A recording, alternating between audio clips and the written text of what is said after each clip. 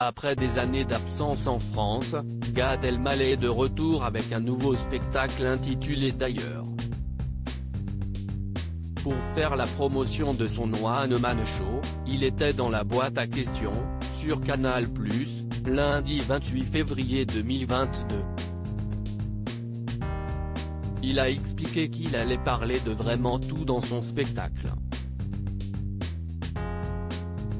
Je sais que la presse ne veut pas me poser la question est-ce que si est le spectacle de la maturité? Parce qu'ils ont peur d'être ridicules, mais moi je la veux cette question. J'ai eu 50 ans et si est le spectacle de la maturité, a-t-il ainsi confié en rigolant? Parce qu'il a évoqué son âge en premier, une question lui a été posée sur la dernière fois où il s'est senti vieux.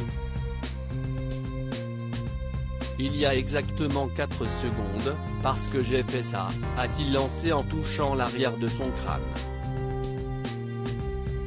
Je me suis aperçu qu'il y a une caméra là, derrière sa tête, note de la rédaction, et je me suis dit, si est-il le pelant qui part, donc le pelant calvitie.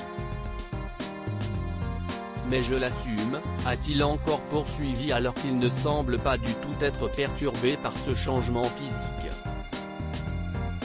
Avec humour, il a ajouté, si est-il le plan d'implant.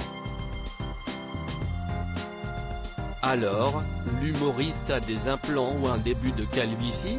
Il a laissé planer le doute. Gad Elmaleh a laissé planer le doute sur de possibles implants les fans de Gad Elmaleh qui iront le voir sur scène pourront se faire leur propre avis.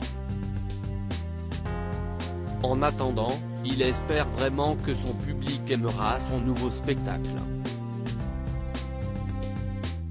Après avoir passé de nombreuses années aux États-Unis, Gad Elmaleh veut de nouveau jouer devant ceux qui lui ont permis de connaître son grand succès. Loading Widget